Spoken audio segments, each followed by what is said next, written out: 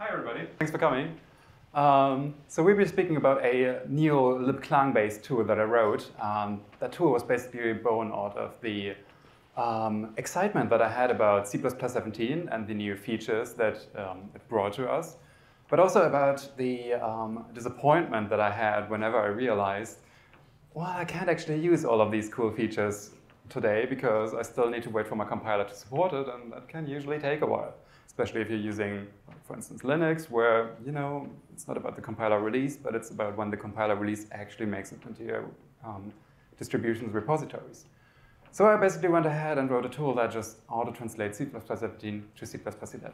But we're getting ahead of ourselves. Um, who am I actually? I'm a freelance software developer working on embedded systems in Berlin, in Germany. And what I like um, to focus on is the symbiosis between type safety and low-level software on the other hand. So if you think about software that works very close to the hardware, like controlling hardware registers directly or just describing hardware layouts precisely. Um, usually languages give, don't give you, you know, a lot of um, a lot of means to handle that kind of stuff. But C++ allows you not only to directly interface hardware, but also to um, write powerful abstractions that actually make sure that what you write really makes sense and is correct in a sense. Plus, it allows you to automate lots of stuff. People who have been in my talk yesterday will know what I'm talking about here. Uh, I've got some side projects, uh, mostly in game console emulation, where um, if you've ever tried to emulate, for instance, the GameCube or the Nintendo Wii on your computer, you will know the program Dolphin, which I've been uh, working quite a lot on the GPU emulator core for. Um, and obviously, we've also been using C++ for these projects and also quite cutting edge C++. So there was always the struggle, kind of, how modern can we go um, while actually still supporting the majority of our users. Uh, I tweet about my stuff on Twitter. Um, I publish most of my source code on uh, GitHub, and I've got a website, so if you want to learn more, feel free to check those out. Right, and to quickly get to know my audience, how many of you are actually using C++ let's say 14 at their job or privately. So that's about 50% of the room. Um, for the rest, um, do you have a vague idea of what C++17 is about? Like, have you heard about, like, who's heard about C++17 features so far? That's about 75% maybe? All right, cool. So we'll show a couple of example code snippets later, so don't be afraid if you uh, don't know any cool features off the top of your head. So the first question I want to uh, remind everybody of, so to speak, why do we even care about C++ 14 and 17? Um, and this is mostly about 17, actually, um, but I identified four kind of major pieces of uh, extensions. The first one is functionality. Uh, we've got the newest file system library in 17, and we've got things like um, std_stringview, for instance, which um, just allows to access new well, actually, the parallel STL algorithms is what I also wanted to mention. So that's stuff you just couldn't do before using only the standard library. And with C++17, you now can do. Are other features that uh, allow us to express programmer intent more precisely than before. Uh, specific, specifically thinking about vocabulary types like std optional and std variant, but also about std string view, for instance. So um, rather than take, having a function take a char pointer and a length, for instance, you know, just pass in a string view. And that is in particular convenient when you have multiple of these kind of pairs. Um, it kind of prevents programmer errors in that people might mistake one length for the other and then just mix up these variables. Right, the third thing is more ergonomic metaprogramming. Um, features such as fold expressions and const_expr_if enable us to do that. And this is actually quite the dramatic, like when you read about it, it sounds kind of small, but the improvement is actually quite dramatic. Like it easily manages to compress things that took hundreds of lines of code down to something that um, easily fits on your actual screen, for instance. Um, we see an example of that later as well. Right, and the fourth point that I identified is convenient syntax sugar, just things that were kind of awkward to do before, uh, more easily with C, done with C++ 17. Thinking of structured bindings, for instance, um, I had another one in mind that I forgot, unfortunately. But, oh, actually the if init um, syntax, where you can now have a separate variable initialization, separate from the condition in, directly in your if parenthesis, so to speak. So that's things that just make things easier to read and hence are nice to have, even though not critical. And I personally see a lot of potential in these improvements. Potential, for instance, in terms of readability, because I've sometimes come to some of my uh, colleagues and friends, and they've been trying to solve some problem, but weren't really used to solving it the modern way. Um, they basically had a solution at hand, and it was kind of awkward, awkward sometimes, and I went ahead and told them, hey, you can use this C++17 feature, you can use this C++14 feature, and make stuff much prettier. And the thing saying that I often got was that it almost looks like I've been writing Python now, which is quite ironic, but um, the difference here is we get the simplicity of Python, but we also get the type safety of C++ because we still have fixed types that just harmonically work together. Uh, second point is we get a much lower entry bar barrier for metaprogramming techniques, where metaprogramming, and especially template metaprogramming, is has historically been a thing that you probably wouldn't do in your job because you're probably the only person on your team who actually understands any of what's going on. C++17 really makes it much more easy, much more accessible to the point that you don't need to be the expert programmer on your team anymore to apply the techniques.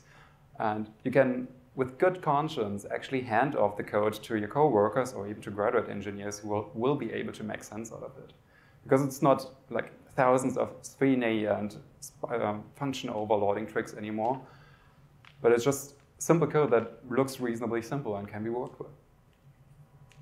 And the third point is more type safety in general, largely due to the vocabulary types, for instance, that just allow us to express things that um, have two different states, for instance, and one specific type that is standardized across the language now. So with that, um, oh yeah, also if you want to learn more, check out the C++17 Tony tables. Oh, there's a link in the presentation, but you can also just Google for it. Uh, they're not named after me, but after Tony Van just saying. but yeah, they basically give you a reference of new C++ features and their corresponding old-style C++ code. So going to get an idea of where the improvements are and how modern features actually map to the language. Right, uh, to give you a problem statement here, I'd like to uh, start off with some C++17 code. Uh, more precisely, this is actually C++14, but let's go with it. And this is a, um, so this might just be a simple function that returns a bit mask for whatever application. And there are two features here. First of all, this is a binary, binary literal, which I believe is a C++14 thing. It's just expressing this thing as a binary number. Um, and the th second thing is this digit separator that neatly allows us to separate this digit into two separate groups. Makes it easier to realize that this one is at the eighth position. If this apostrophe were missing, it's kind of, okay, how many zeros is there? Is it six, seven? So yeah, what the compiler will be doing with that code is relatively simple. It just returns a number. So it returns that into some assembly code where it loads the number 128 into a register and then returns for the function. There. At least that's what's happening, what happens with uh, GCC 4.9. If you use GCC 4.8, you will get a very sad or angry um, programmer because it won't compile. It won't compile because, well, GCC 4.8 supports the binary literals, but it does not support the digit separators. Um, it's kind of annoying because you know the feature isn't critical. We can still work without it, but it does add benefits to the language. It adds benefits in terms of readability and in terms of safety in a sense because it prevents us, or at least makes it less likely, that we miscount the number of zeros here, for instance. So if, if there were a way, we would really prefer to, um, to go with it. So yeah, there are multiple solutions to this problem. What can we do? Well, we just upgrade our compiler upgrade our compiler to a newer version that supports all of these features, and we're good. Unless that's not actually possible. It, it's just not always feasible to do, especially in bigger projects where transitions to newer compiler versions might significantly impact, well, they might incur significant overhead in terms of work. Um, because you need to make sure that the codebase actually compiles to the same behavior. New compiler versions might introduce bugs, and you just want to make sure that all of the transition is safe. Similarly, in embedded systems, you're kind of bound to what your um, development board vendor is actually providing you with. Some people just are very slow with updating to new compiler versions, and sometimes your compiler vendor might just not care about updating the platform at all anymore. and then you're just stuck with that system. So if that's the case for you, I just stick with the older version of C++. You know, what's so bad about it? Well, it will give you a higher cost of maintenance because you don't get to enjoy all the benefits we've seen on the previous slide. It will also have a higher risk of bugs in production. And uh, in the sense that the lack of type safety, or rather the lack of the improvements to type safety, will make it harder for you to construct your programs in a way that runtime errors are actually detected at compile time already. And you will only know, notice some of the bugs in production, and then can, depending on the application, cost you actual money. But yeah, I've introduced a third, uh, third, third, solution to this problem. It's called Clang from the Future, and this is my libclang-based tool.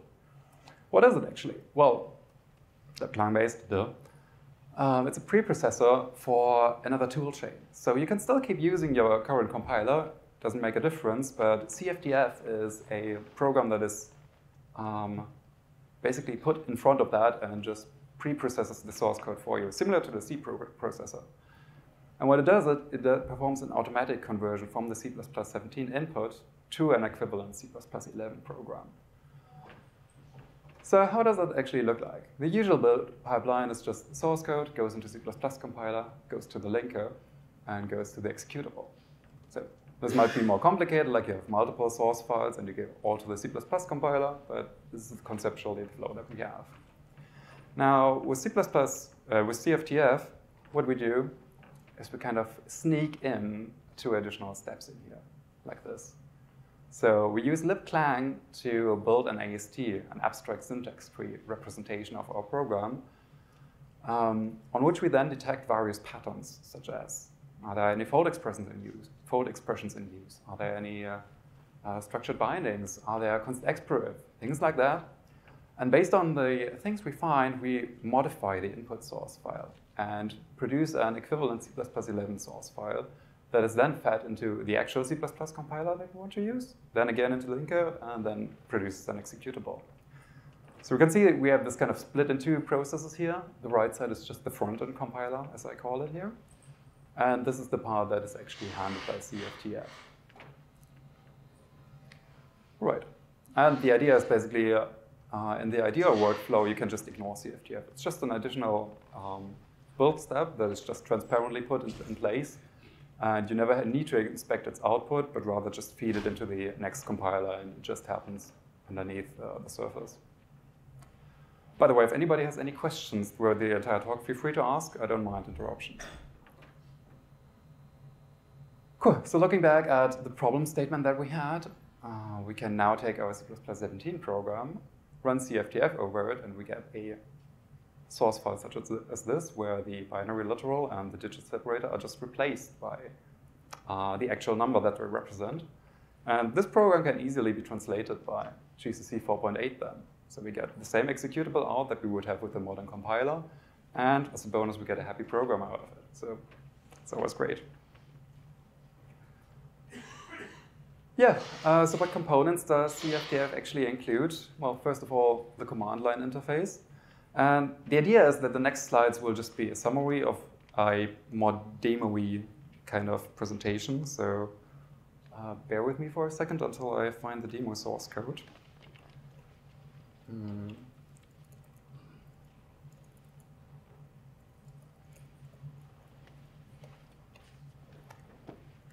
There we go. Can everybody read this? Big enough? That's good? Awesome. Um, so this is a very simple application using the if-init syntax from C++ 17, where, um, so the idea is I just want to write a function that, uh, that adds an element to this map of ints to string. Um, and the function should log whether it actually added a new element or whether the element was already included in the map. So the way I do this is I use this function emplace, just inserts a new element into the map and returns an iterator to the inserted element and a boolean indicating whether the insertion actually took place. And this is rather awkward uh, with traditional if syntaxes because we would need to declare the thing outside the if statement and then check for the condition at the end, um, which is the dot second thing, which extracts the boolean. So there is no way to just say, auto ITN status and have it automatically check that, but you need to separate the check explicitly. But yeah, with the if init syntax, we can just do the variable declaration at the beginning and then have a separate condition right there. Now, um, the way I do this with CFTF now is I just call this program, CFTF, point it to the input source, which is, that should have gone on the video.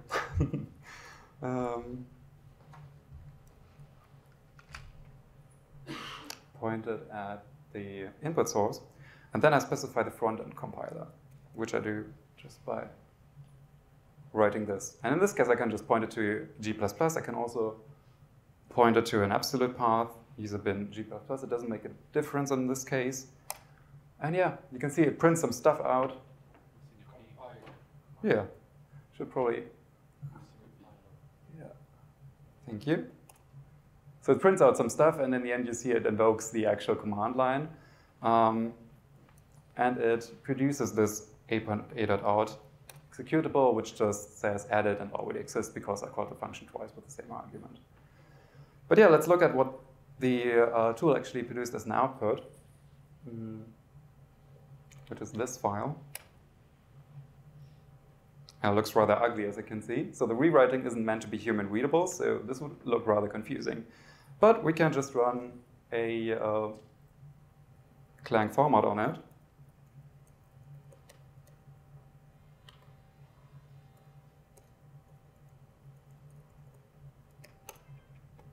and then it's somewhat more readable.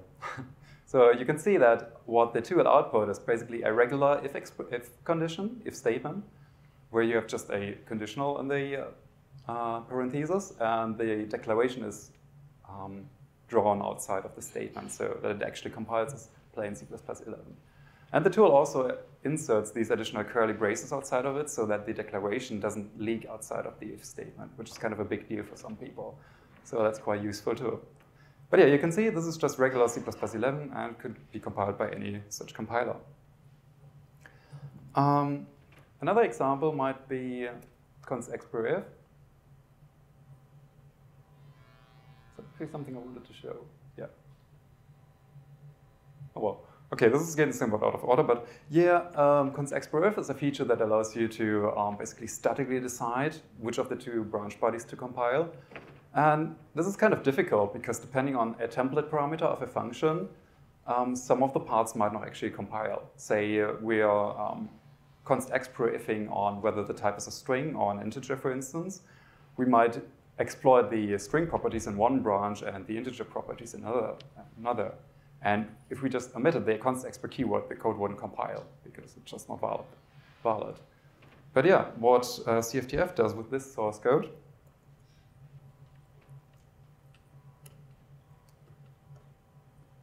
is outputting lots of stuff. But yeah. So you can see this is getting rather complicated at some point. Um, but basically what CFTF does, it automatically generates two specializations for this function. One for the first argument, which was a, yeah, an int. And we see the specialization right here. And you can see the if-else const expr thing was just um, compressed down to a single if statement. So the stuff that was in the else branch is completely gone because it wasn't taken in that case. Um, similarly, the uh, specialization for doubles contains the other branch. So this is the double threshold thing, this is the direct comparison for this code. And it just picks whatever um, applies for the given const per branch. Right. Um, do we have another example?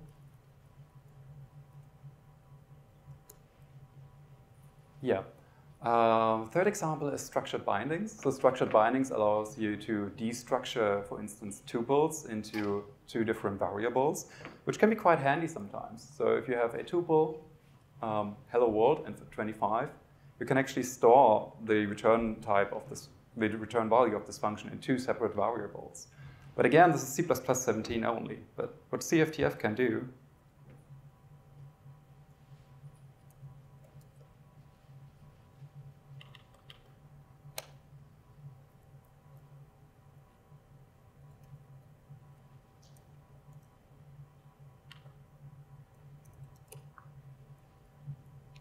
uh, is to expand the entire um, destructuring operation to a separate um, declaration, which just captures the tuple and then destructures it manually using stdget. So this one first declares the string by getting the first tuple element, and this one gets the number by getting the second tuple element. And that just has the same effect. A question right there? Yeah, so if you're using structured bindings, though, aren't those supposed to be references?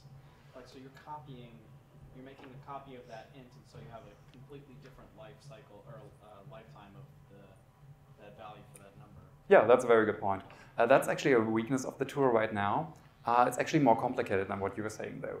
Um, you're saying it's supposed to be a reference, but actually it's a different kind of reference than what we're used to. Because if you were in the original code snippet, um, oh, thanks.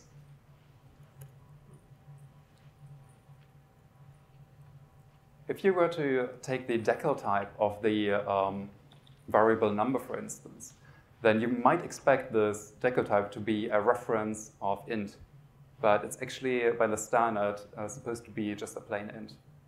So it's. Auto does not provide does not uh, push a reference in const. Come again? Uh, Auto does not propagate a reference in const. That's probably why. No, it's it's because you're not allowed to know that it's a reference. The standard requires that you're not allowed to know that it's a reference. Yeah. So it's a different kind of it's a kind of transparent reference, so to speak. So it behaves like a reference, but just isn't. It just directly refers to the actual tuple element. So in other words, it basically um, behaves as if you, at any place where you access number, were instead accessing number through the actual tuple. That's reasonably accurate, maybe. So you're saying that transformation It preserves the type, but it doesn't preserve the fact that you know there shouldn't be any copies. So there's still some stuff left to do here. Right. Um, what's also supported is um, doing the same on destructuring when you want to do structured bindings on uh, structs. Uh, for time constraints, I won't show you the generated code, but that is supported as well. And similarly, it also supports destructuring structs or types where you manually define stdget. Um, actually, let's look at the generated code for that one, that one because it's rather interesting.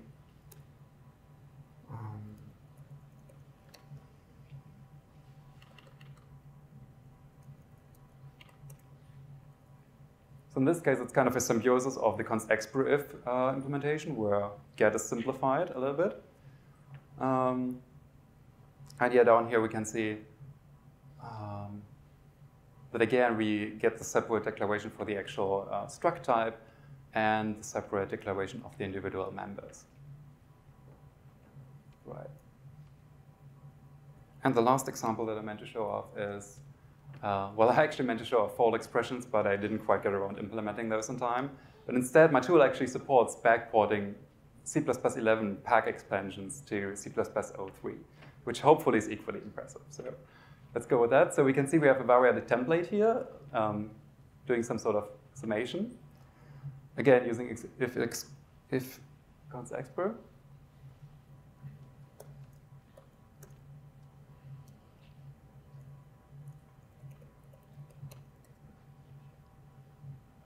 And you can see the output of the tool is rather extensive on that one.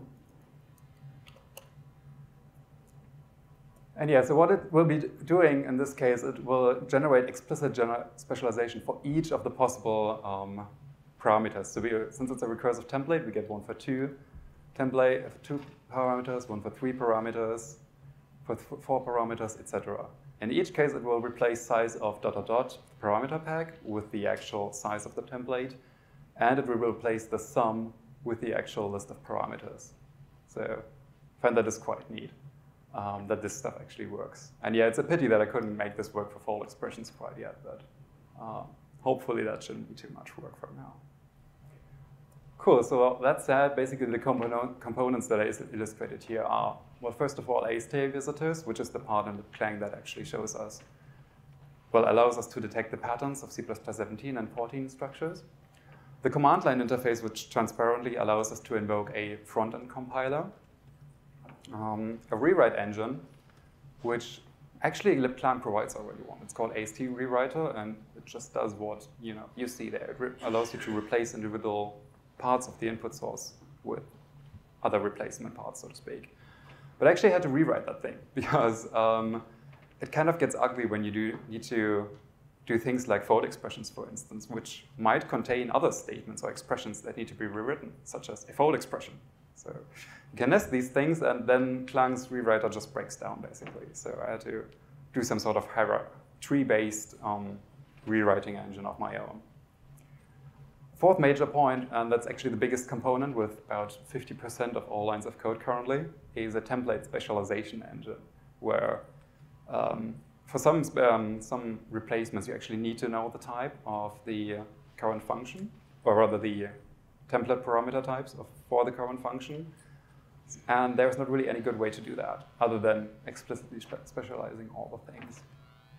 And well, there's a uh, test suite, which um, just makes sure that I, so to speak, catch all of the possible corner cases that might be um, hidden or hit in the tool. So yeah, examples, we've seen all of these, I believe. Oh yeah, there's also return type deduction, which we kind of glossed over. Um, you can write functions like auto function and then return a value, and the auto keyword will just deduce um, the return type of that value. So that's a new C++ 14 feature, and CFTF also supports that kind of stuff. And if you've paid, paid close attention, um, there's actually some trickery going on uh, when functions might return different kind of return types. So yeah, that's fun. Uh, in practice, um, you can just use the tool like this, and there's actually easy integration into your existing build pipeline. So probably you're not compiling like this manually, but you might be using makefiles. Well, just replace your CXS, CXX with CFTF as a compiler, and then add uh, the front-end compiler option to your CXX flags. And calling make for sanely behaved um, makefile setups will just transparently do this for you. If you're using CMake, it's even easier, or, well, just about the same, but it works work consistently for every CMake project, I believe, where you just call uh, minus d CMake CXX flags to do this thing automatically. And to illustrate that, let's go to the actual test suite of the, um,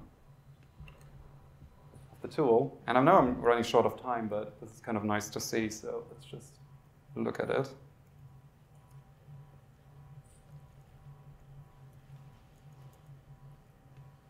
Yeah. So there's the CMake, uh, CMake list file in the directory, and I just copy paste this line right here. And of course, I need to point it to the directory. Yeah. And you can see it just runs CMake through manually. It detects our compiler, so to speak. But it's just going to generate the build files, and you can then call make, and it just runs the tool automatically.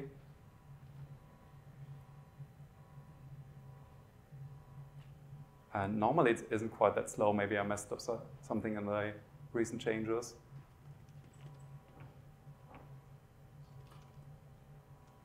But yeah, you know, you can see it works. So, um, and at the end of the day, it will produce the test binaries. Although in this case, this is rather um, the executed builds generated here aren't particularly interesting because it's mostly just static asserts. We've got a question back there.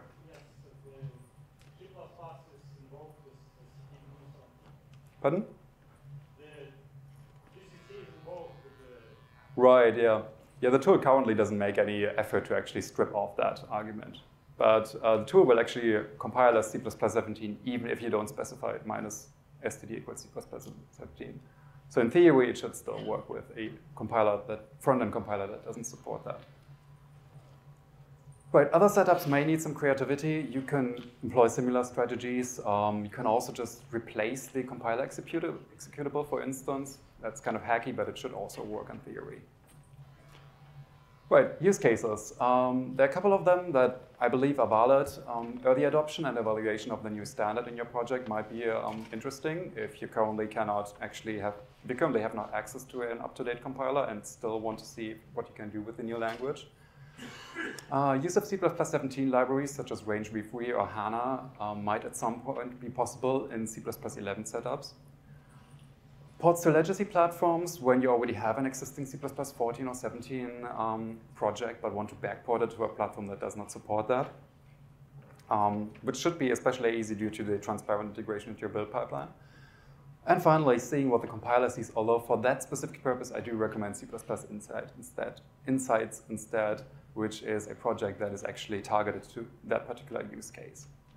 So yeah, uh, current status, I published this thing on last Friday on GitHub. You can take a look at it if you like. Uh, link is on the next slide. Uh, it's a usual drop-in plugin uh, for drop-in um, process, so to speak, for GCC and Clang on Linux. Uh, patches for Windows and Mac OS welcome at this point. Um, there's a small set of initially supported features. You've basically seen most of them already, but uh, the idea is to focus on getting it correct first and then slowly extending the feature set so that we can make sure that the output programs actually don't break anything. And yeah, uh, try it out if you like. Um, please not in production, but uh, I believe it's stable enough to you know, be experimented and tinkered with. And please do report issues if you find any. Future, uh, more rewriting rules. Um, I'm kind of curious, what do people want most? Feel free to raise issues or um, poke me on Slack about this kind of stuff. Um, C++ 2a support would be quite nice. Concepts and contracts can, in theory, um, be supported. And then maybe we can go back further than C++ 11 and support C++ 03, for instance. Better test coverage, full C preprocessor support, and a better debugging experience if you think of uh, source information during debugging, for instance. So that's all kind of a pipe dream, but we'll see how it goes. But yeah, tell me about what you want to see. Summary, uh, you can read that at home. With that said, here's the link to the tool. Um, if you've got any questions, feel free to come to me on stage or somewhere during the conference later. That's that that's all I have to say. Thank you for your attention.